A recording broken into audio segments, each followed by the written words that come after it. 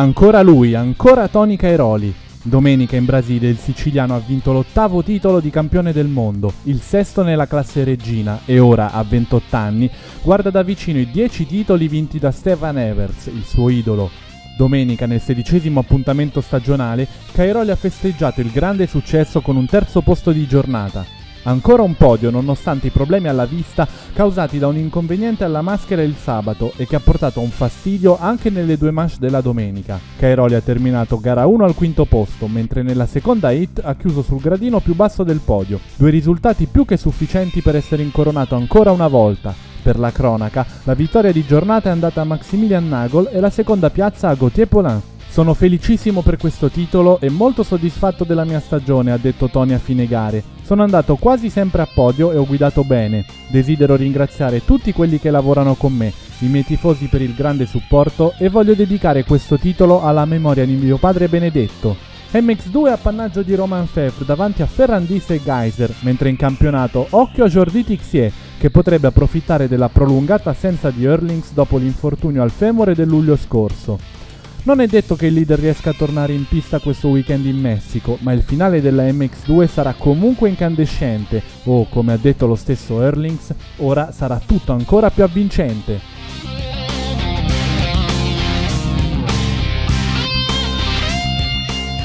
Il tricolore italiano motocross ha dato il primo verdetto. Michele Cervellin è il campione italiano MX2.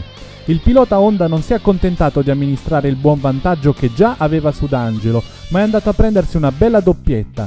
Il suo diretto rivale gli ha dato filo da torcere, però ha chiuso al terzo posto di giornata dietro al nuovo campione Matteo Bonini. Cervellin si prende così la seconda grande soddisfazione del 2014 dopo aver vinto il motocross delle nazioni europee con la maglia azzurra. Tutto ancora da decidere nella MX1, che a Cingoli ha visto vincere prima Samuele Bernardini e poi Daniele Bricca, migliore di giornata proprio davanti al campione europeo MX300. Christian Beggi ha chiuso al terzo posto, ma è ancora leader della generale. Ora conta 326 punti di vantaggio su Bernardini, 382 su Bertuzzo e 426 su Bricca. I quattro sono matematicamente in gioco per vincere il campionato, ma l'indiziato numero uno rimane ovviamente Beggi.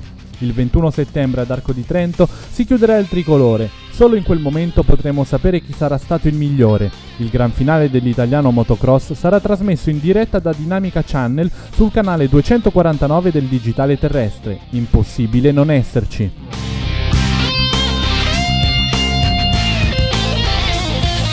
Lombardia, Veneto, Lazio. Si è chiuso così il motocross junior delle regioni, andato in scena domenica a Roma. Il Veneto, campione in carica, ha lasciato lo scettro alla Lombardia, che ha staccato gli avversari di ben 10 lunghezze. La squadra composta da Bonacorsi, Lesiardo e Lugana ha raccolto 8 punti contro i 18 del trio Bastianon, Zancarini, Zonta.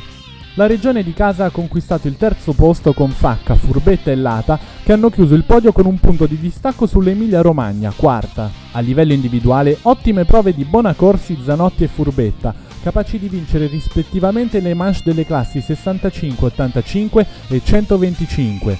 A questo punto non rimane che aspettare il trofeo delle regioni motocross, quello dei grandi, in programma il 12 ottobre a San Severino Marche.